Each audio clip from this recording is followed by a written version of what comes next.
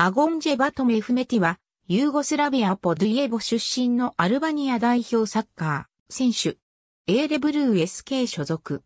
ポジションはフォワード。コソボ自治州のポドゥイエボ出身で、2歳の時に家族と共にスウェーデンへ移住した。イフック・マルメのユースチームでキャリアをスタートさせ、2002年にマルメ FF のユースに移籍した。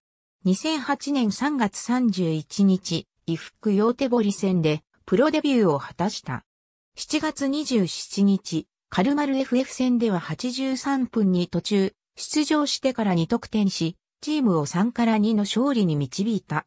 2009年には途中出場で5ゴールを決めている。2011年11月11日、イタリアの US チッタディッパレルモに5年契約で移籍することが決定した。2012年1月8日、SSC ナポリ戦でイゴール・ブダンと交代途中出場でデビューを果たした。しかしボルトロムッティ監督の信頼を勝ち取れずほとんど出番も得られなかった。シーズン終了後にルイジ・ジョルジとのトレードでノバーラ・カルチョに期限付き移籍。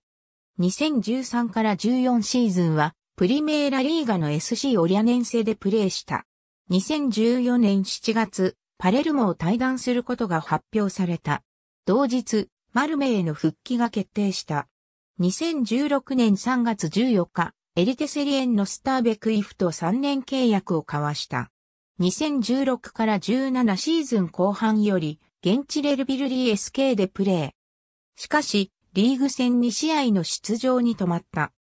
2017年9月7日、かつて丸目でアシスタントコーチとして指導を受けたペップ・クロテートが監督を務めるオックスフォードユナイテッド FC と1年契約を締結した。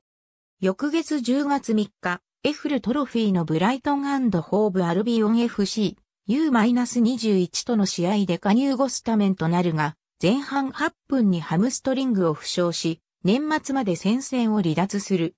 翌年3月に指揮官として招聘されたカール・ロビンソンは契約を延長しないことを表明した。スウェーデン代表として各年代でプレーしている。A 代表はアルバニア代表を選択し、2013年9月の W 杯予選にてデビューした。ありがとうございます。